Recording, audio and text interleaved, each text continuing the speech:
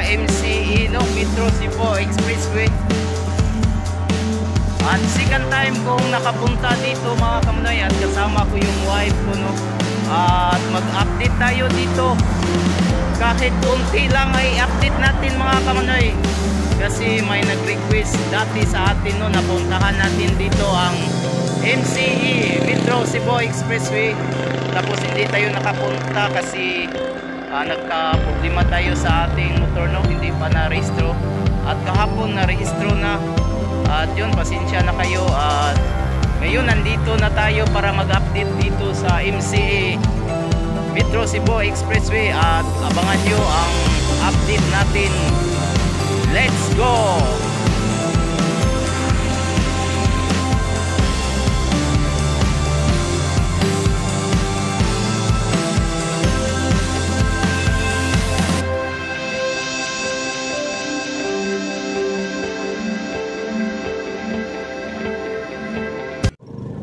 At yun mga kamnoy, nandito po tayo ngayon sa Pangdan, no? Unang uh, update natin dito sa Pangdan. At yun, at pakita ko sa inyo mga kamanoy, o gano'n na ang kaganapan dito sa Pangdan, Naga City of Cebu. Let's go!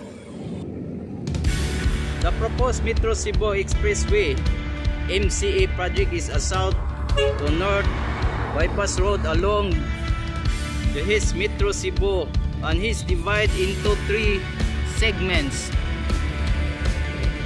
One, Winglanilla, Cebu City, Mandawi Consolacion.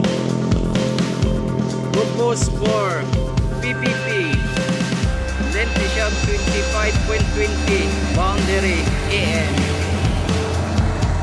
Mandawi Consolacion boundary to Danao City for future expansion length 23.36 km Naga City Minganilla length 4.20 km ongoing implementation by DPWH Region 7 Office. 3P remaining portion purpose. PPP the length ni siya 4.18 km the total kilometer length 56.94 mga kamanoy at yun let's go. Uh, tingnan na natin yung uh, kaganapan doon sa MC Metro Cebu Expressway. Tara na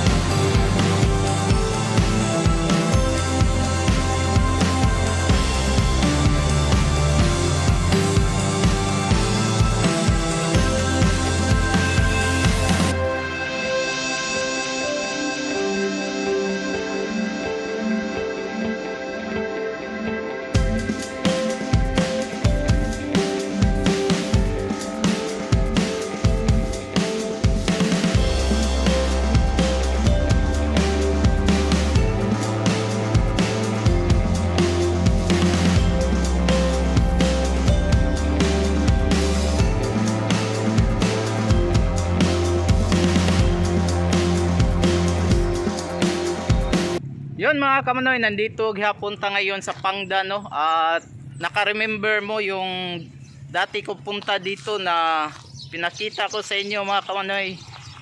Ito uh, simento tapos dito lupa. Uh, hanggang ngayon hindi pa na na simento kasi may problema sila dito sa may-ari ng lupa no. Uh, hindi ko alam kung anong nangyari dito Uh, may, nabas, na may nabanggit si Jim Akoy na nagproblema daw sila dito. At uh, abangan lang natin yan mga kamanoy at ipakita ko ngayon sa inyo no. Yan simentado lahat yan mga kamanoy pagdating dito. Oh. Yon, lupa, gyapon. Same as usual yung pagdating natin first mga kamanoy no. First vlog natin. Yun. At sana sa next vlog natin uh, sigurado ma-okay na to mga kamanoy. Or hindi ta sure ha? Subukan lang natin. At yun puntahan na natin yung sa taas. Let's go. At yun mga kamanoy uh, dating dati dito tayo dumaan. Ngayon may nakalagay na road road close no. Dito na tayo dadaan mga kamanoy. At ito na ang nagbago dito no. Diretso na lang tayo doon. At ipakita ko sa inyo mga kamanoy ha.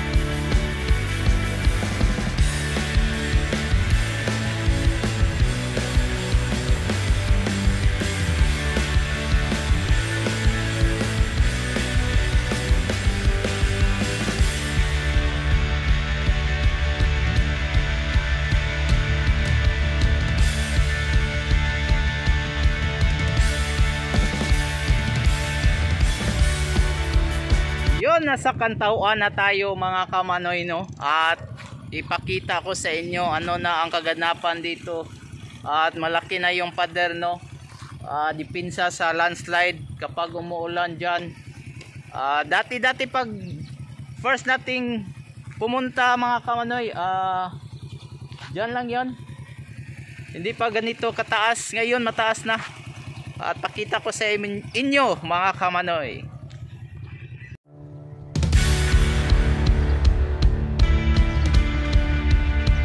Lumalaki na yung pader dyan mga kamanoy no? Dipinsa sa ating pagka landslide hanggang doon. Papunta doon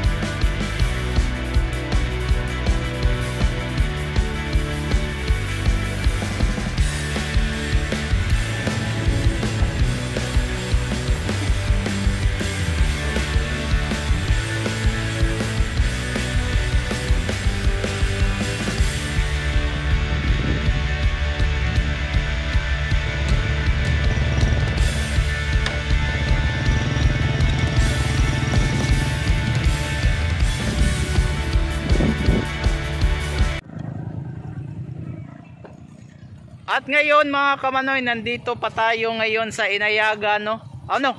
Kantauan pala. At dati-dati nakaremember tayo dyan kami ni G. McCoy. At ngayon, medyo okay na kasi madaanan na dito. At may meron nagdaanan din dito. At konting improvement na, ah, hindi lang kunti, ah, malaking improvement na dito mga kamanoy. At pupuntahan natin doon.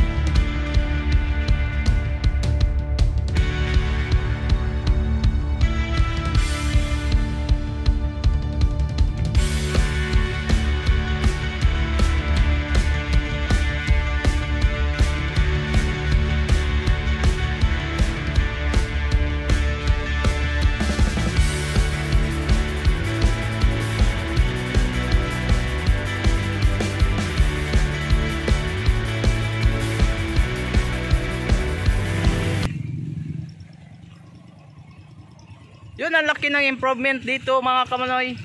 Oh, maganda na ang daan dito. Yun.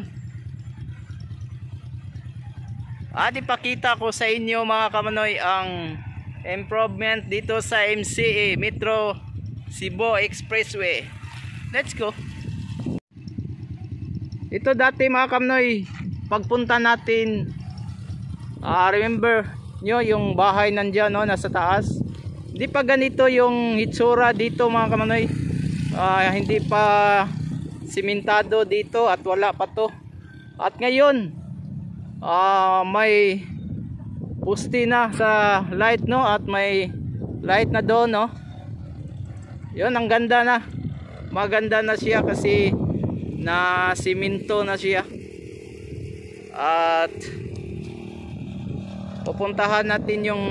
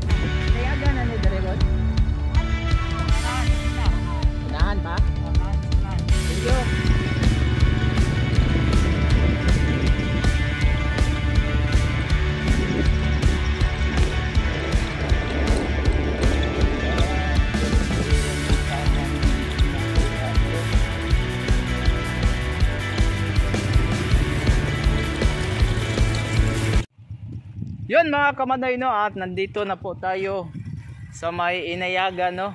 Diyan banda Inayaga na at yun. Mukhang daming nagbago dito mga kamanoy.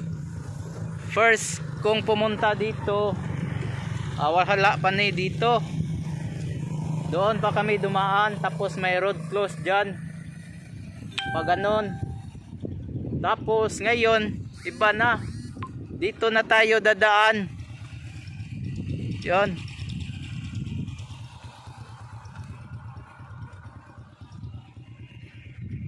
malaking pagbabago dito sa MCE Metro Cebu Expressway mga kamanoy. At unti-unti na tong papunta doon sa may inayagan no? Lagpas ng inayagan at yun ah shout out pala sa mga ah, mga nagpunta ditong mga vlog Ulitin ko mga kamanoy, ah, shout out pala sa mga nagpunta ditong mga vloggers dito sa MCE no Metro ah, Cebu Expressway. At ngayon may shout out tayo mga kamanoy, mga kaibigan natin. At yun, ah, shout out kay Mars TV Vlog. Miga Miga Love shout out sa iyo. Ronil Yunson from Canada. Sir, shout out po. Ah, at ulitin ko mga kamanoy. Ah, Ranil Yunson from Canada. Shout out po. At from Minganilla og sa mga taga Cebu, sabi ni Sir Ranil Yunson. Ah, shout out po sa kanilang lahat doon sa Minganilla at taga Cebu. At kay Serofino Gultia, shout out po. Miga Miga Love, shout out. At kay Manang Tinang Vlog, shout out po sa inyo. At sana ah, mag-ingat kayo dyan kung saan kayo ah, nag-work o kahit saan pa. Sana keep safe always sa inyong lahat dyan.